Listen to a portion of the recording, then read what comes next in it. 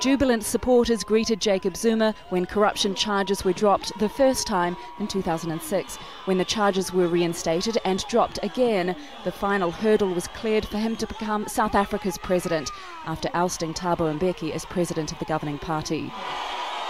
Zuma had been charged with 783 counts of corruption in relation to tax evasion, fraud, and a multi billion dollar arms deal meant to restock South Africa's military hardware after decades under apartheid era sanctions. Why the charges were dropped is controversial.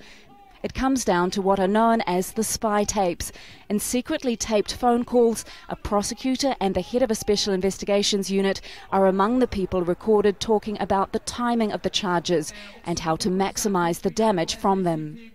The acting National Director of Public Prosecutions at the time dropped the corruption charges because he said the spy tapes showed political interference that meant Zuma couldn't receive a fair trial.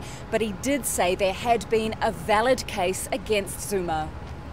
That's why the opposition Democratic Alliance pursued the case so rigorously since 2009. It wants the prosecutor's decision set aside and the charges reinstated. Jacob Zuma was about to become president of South Africa. This was a politically inconvenient prosecution, and uh, they latched on the one aspect that could marginally justify the dropping of charges. Political analyst Aisha Kaji says Zuma, who is less than halfway through his second presidential term, is already losing support both within his party and the public. It could strongly damage his chances of being able to shall we say, influence who his likely successor is going to be, and of being able to influence what happens during the rest of his term in office. In a statement on the eve of the court case, President Zuma's office said the decision to drop corruption charges will withstand any scrutiny and that the Democratic Alliance is abusing its power and trying to win votes. Zuma's lawyers are paying close attention.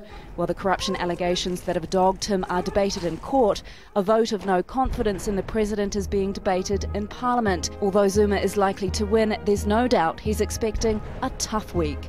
Tania Page, Al Jazeera, Pretoria.